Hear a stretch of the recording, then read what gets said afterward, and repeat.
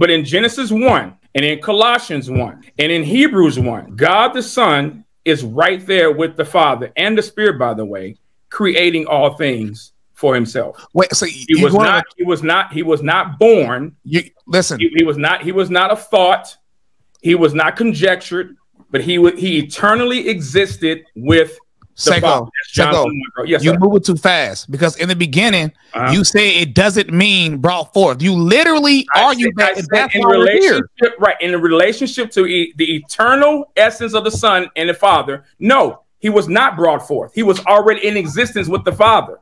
But in his earthly ministry, when he came to earth, John 1, the word became flesh and dwelt among us, and we beheld his glory, the only begotten, there it is right there, the only begotten from the Father, full of grace and truth. That's what he's talking about. That's the context of begotten, Bryson. You don't so have to like it, I mean, I don't, I, I, to be honest, like, this is what I be talking about, bro. This is like seven minutes wasted of stuff that could have been how, quality how conversation. I'm just explaining to you what the word. You're not explaining. All you're doing is reaffirming or reconfirming what I said seven minutes ago. No, no, no, no, because you don't believe that Jesus Christ eternally existed with the Father. Uh, do you do, she, do you do you believe she, that? Do you affirm that? Wait, wait, wait. See, see, we had this conversation earlier, didn't we? Who did? You talking about you talking about you and I, or you talking about, the about I'm talking to Sheik currently. Okay. Uh, yes. Is there actually Sheik? Should I call you Avery? I'm just so. Call me Avery, bro. Avery. Cool, Avery. Did we not have this conversation about um about Jesus earlier? We did. We did. What, what was the conclusion? Because I, I, I, didn't. I didn't mm-hmm. He actually believes that Jesus is uncreated. But wait, I said I'm not.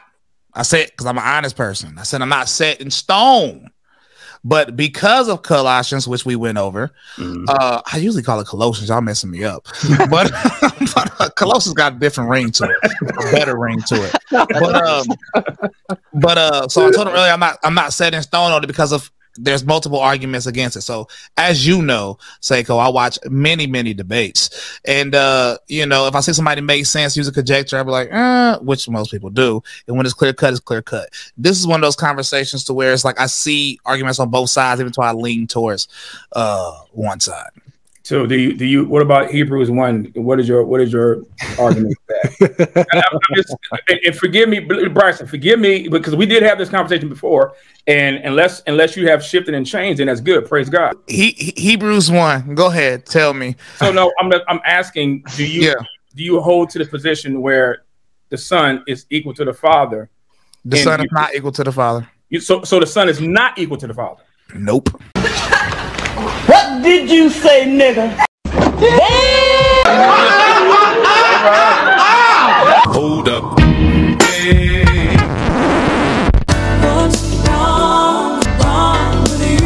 So, so the son is not equal to the father. Nope. oh Lord. hey, bro, come on now, dog. Come on, man. What? So, so the son is not equal to the father. Nope.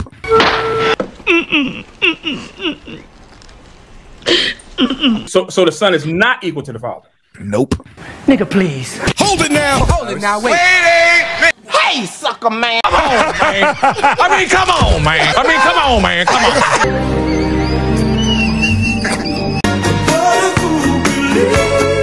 Show me the strength.